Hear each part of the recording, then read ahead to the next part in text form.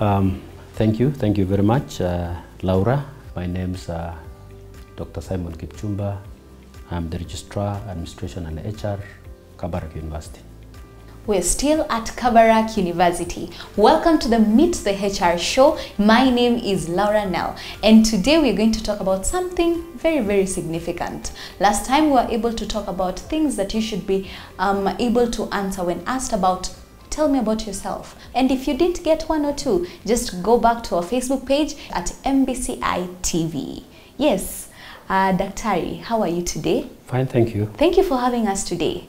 Welcome. Okay, now we have had a lot of interviewers asking interviewees, what are your strengths? What are your weakness? In a nutshell, why is that question asked? That question uh, definitely in most interviews doesn't miss, Mm-hmm. and it's good for the candidates who want to, um, uh, who are appearing before a panel Yes. or any other form of interview to prepare themselves uh, on how to uh, answer the question. Yes.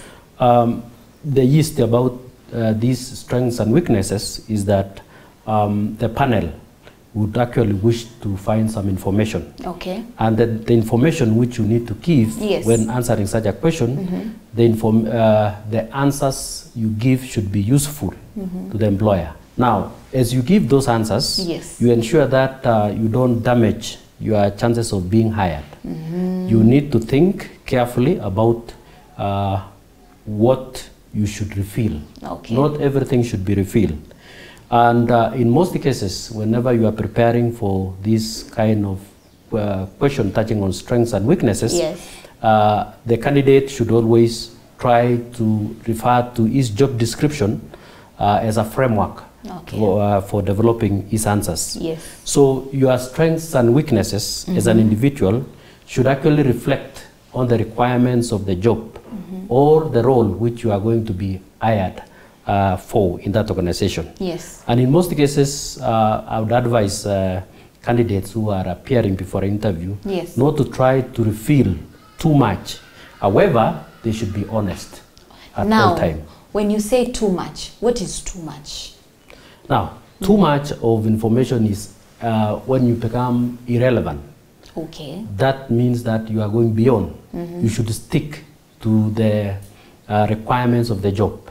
So some of the details that makes you look very away from that job is such as some information that a job seeker should never give out during an interview. Now, um, in most cases, that's why I was saying whenever you are answering such a question on strengths and weaknesses, Yes. you should actually refer to the job description of that uh, specific job. So, aside that, you are guided by that. You don't go outside that. So, uh, some of these requirements actually will be informed maybe the nature of the job, maybe um, your personal attributes, Yes. which is linked to the job Yes. and also maybe um, uh, other aspects of performing that particular job which maybe the employer will be looking for. So you should stick to the requirements and also the description which key uh, key key aspects of the job Yes. which is very important uh, for the for, the- for, for, for the panel. So it's very important before you go for an interview, you make sure you have read the job description Yes. and be able to put your strengths and your weaknesses Yes. according to what is within the job's The job, yeah. description. Yes. Okay. Now, when it comes to weaknesses, people like to say, I have a weakness in being a perfectionist. Yes. What is that statement? Now, uh, thank you, Laura. I think also that's a very key important question. Yes. Uh, about uh, weaknesses. Of course, um, in this aspect, when you look at uh, strategic human resource management, the weaknesses as an individual, you should convert those, convert the weaknesses to be your strength. Okay. And when you convert your weaknesses to be your strength, then of course the employer will actually see something in you which actually can you can turn around a situation Okay. to be beneficial to the institution. Okay. So um, some weaknesses which you can actually uh, focus on Yes. is based on maybe the hard skills and the soft skills Okay. which uh, uh, comes about in managing or in day-to-day management of human resources. Now, uh, some of these skills like public relations skills, Yes. Um, you know, if you are asked such a question, of course, you are not uh, in any way um, less, lesser in terms of handling uh, public rela- relation activities. Okay. But you should actually convert that by uh, giving information like you are progressively continuing um, uh, sharpening the skills in that area. You try and give a solution to that problem. Yes, you give a solution. You don't just highlight it and just leave like that. Yes. Now, for example, delegation of duties. Some people, you know, we have people who are very, very particular in the way they handle some issues. Some people, you know, th- th- because of perfectionist Yes. uh, nature, then you'll find that such a person, um, he may actually come out of such a question and handle the question more uh, effectively by saying that you better even take extra workload to ensure that quality of work is ensured. Okay. So as you answer or handle that weakness, you should have a ready answer, which actually will uh, help you to come out of that uh, issue. Yes. For example, shyness. People are shy. Yes, that's It's just true. common. Yeah, very Yes. many people, and when they reach an interview, Yes. you can even see the shyness. And shyness is a personality. Yes. You know, you cannot change someone overnight. But of course, you can actually turn that one into a strength. Yes. And um, you need also to uh, approach such a weakness by maybe indicating that currently you are working in a small groups. Oh. Currently, and within those groups, you try to, you know, handle this issue so that you build confidence. Confidence Yes. is built over time. It's Not just one day. Not just one day It's a process. Yes. Now, uh, sometimes you can even, there are people based on personalities again, Yes. negative criticism. Mm-hmm. Negative They're not good at that. Yes, negative criticism. Some people cannot bear the criticism, but you expect in your day-to-day um, uh, Life at work. or life at work Yes. or at home or socializing Wherever with you colleagues are. or friends, always expect both good And, and, bad criticism. criticism. Now, if it is bad criticism, Yes. you need to actually understand how to handle. Don't be harsh. You know, Just be soft. just be sober and uh, try to say that if you have that uh, problem, then learn that you are continually learning how to take negative criticism. And uh, Daktari, when it comes to people who say, I'm not good with people, how can you bring that, even if it's a weakness, how do you bring it to work for your favor? Apart from the one that you answered, workload, you can be able to take workload. How should you bring such a statement? Yes, you are I'm not good with people. Now, uh, you know, also uh, we have, it also goes back to personality. Yes. We have people who are introverts and Extroverts. extroverts Yes. within the organization. Now, how do you manage the, uh, the, the introverts? Yes. Now, the introverts, of course, uh, you, are, you are going to manage that weakness by ensuring that you get more exposed in terms of uh, um, social activities with the organization will actually uh, have them or organize them, Yes. including team building and so forth. Yes. So when you engage yourself in those other extracurricular activities within the organization, Mm-hmm. of course, uh, you will be a member. For example, in Kabarak University, this is a Christian institution. Very true. And you expect that we have so many programs which will actually help individuals to grow spiritually. Yes. And also we have also programs which uh, help individuals to actually fit into the culture and the systems of uh, the university. So within those systems, of course, you will find your way, and uh, within those small groups, you will actually be assisted and Yes. you will fit uh, much easier. So it's just giving a solution to some of your weaknesses so as to back it up so that when you go to an employ a potential employer, they're able to see you're working on a certain aspect Yes. which you're about to Yes. improve. Yes. And most of the time we want to say, I really doubt if I have any weakness. It's very important for someone to indicate some of their weaknesses. Yes. We should never let it blank. That's true. Oh. And uh, especially Laura, Yes. um, I think what we have handled more is on um weaknesses which eman emanates from personality. Yes. We have other weaknesses which can actually come about because of uh, the work-related issues. Okay. For example, Pressure. Um, pressure at work, you know, and of course, maybe if you don't meet certain performance targets, Yes. then you feel like uh, your morale will go down. How do you down. handle such a situation? Yes. You know, um, that is itself, the employer will see it positively Mm-hmm. because you feel you are not comfortable when you don't achieve certain Tasks. targets. So you need actually to say that you are a co-cater and whenever you don't meet those targets, you feel like you have not done very well. You're not and doing well. you always try to go back and find where you went wrong to actually address the Such gap why you did not achieve the target. One thing about interviews Yes. is that um, the employer is trying to uh, assess whether you have the prerequisite skills, uh, competencies, and also um, experience which Yes. is required to perform that particular job. True.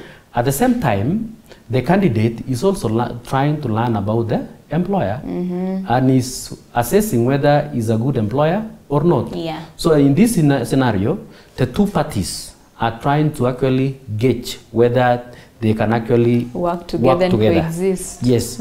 So long as you don't lose focus in terms of um, your competencies, in terms of your training, Yes. and in terms of your achievements And which you have achieved in that particular role. Okay. People are quick to go into the fact of uh, the achievements they have been able to make um, over a period of time. Now, how am I able to say my achievements and not look as if I'm bragging or I am saying too much about some of my strengths? Now, your achievements, Yes. whenever you spoke about your achievements, Yes. um, actually you are trying to demonstrate your strengths and abilities. And as you demonstrate your strengths and abilities, you are also trying to demonstrate how the job aligns with your career goals.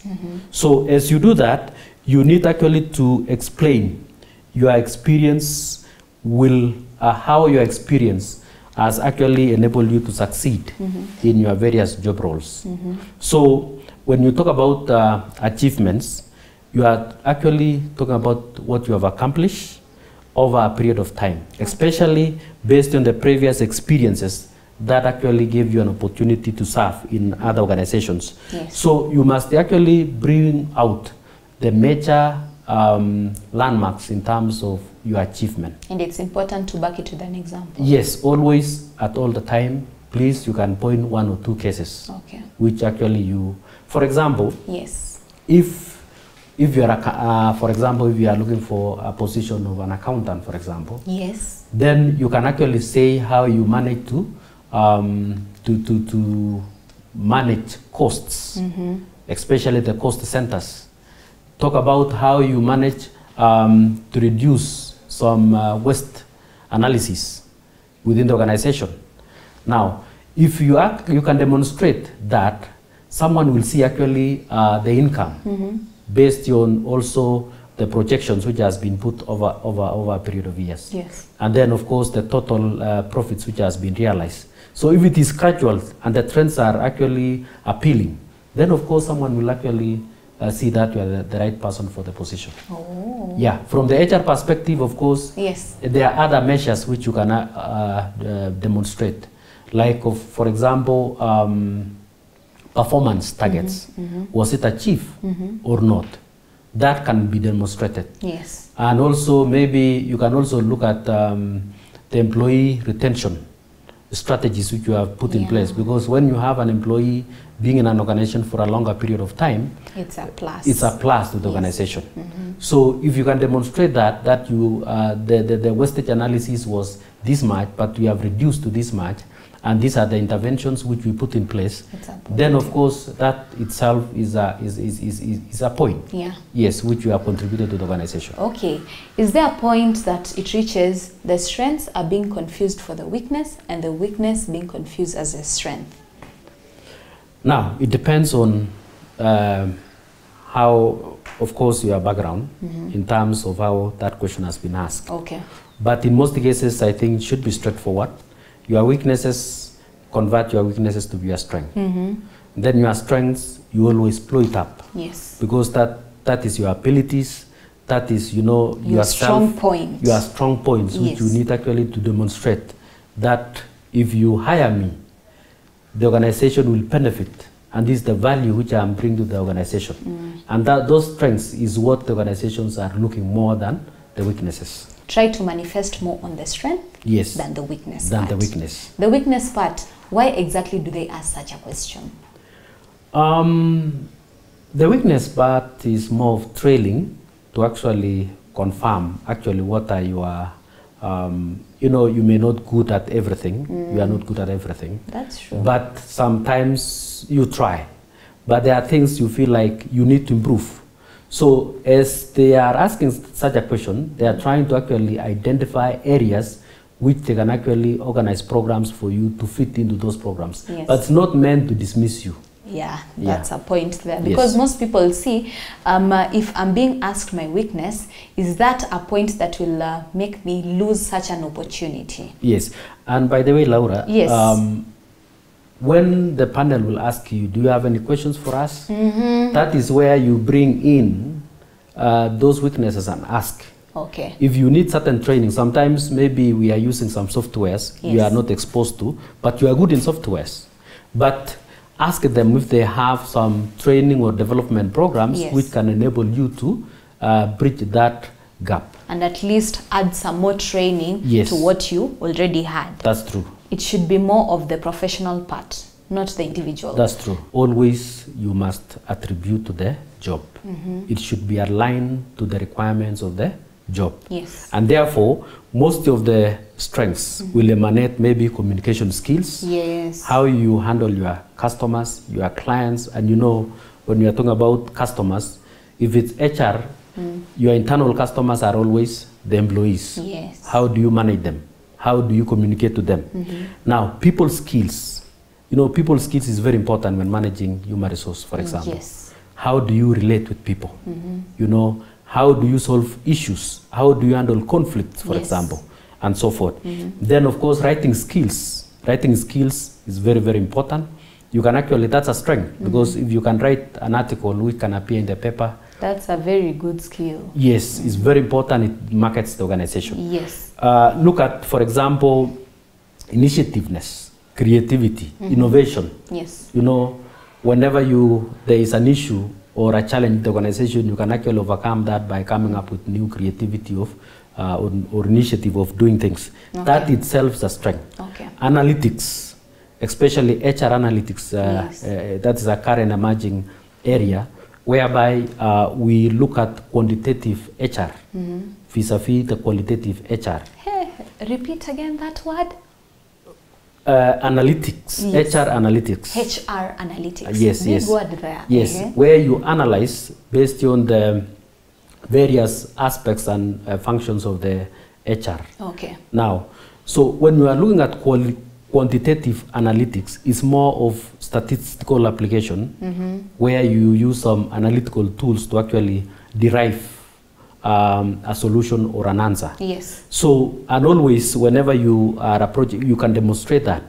Now, an employer will actually prefer you over the uh, over the the, the, the the other candidates. Okay. Now, leadership skills is very important. Yes. You know, you can demonstrate that by actually showing the various um, teams you have led to success. Now, and as a, as a, as a new, uh, maybe a new person, you have just graduated, you have, you don't have. You're looking for a job. you are busy looking for a hustling job. everywhere. Yes, yes, yes, Yes. And someone can ask you about your leadership skills. You know, your leadership skills actually, you can look in terms of the various teams you have worked with. yes. Maybe Team player. team play, head girl, head yes, boy. those small responsibilities counts. Yes. They really count. They really lot. count a lot. Yes. If you can actually demonstrate that, it will actually show that you are a, you are a leader. Always for you to succeed in your area of expertise, Yes. you need also always to um, identify mentors, people who have succeeded in that line. Yes. And then, of course, they will advise you, including your, um, of course, your referees or your uh, other people who knows about the area.